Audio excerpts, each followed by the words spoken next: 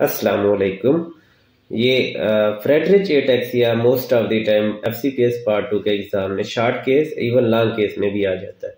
तो इसकी भी जो स्कीम है, वो आपके फिंगर टिप्स पे हो और साथ साथ प्रेजेंटेशन भी। तो इसमें मैं आप, इस वीडियो में आप लोगों को शार्ट केस की प्रेजेंटेशन बताऊँगा।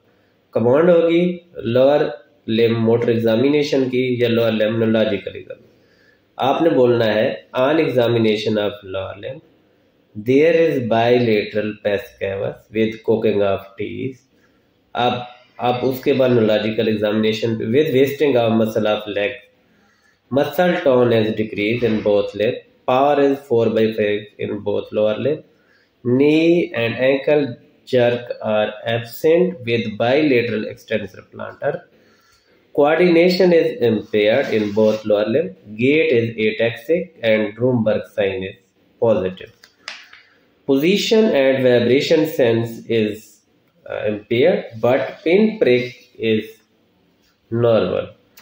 यानी कि इंटैक्ट होगी.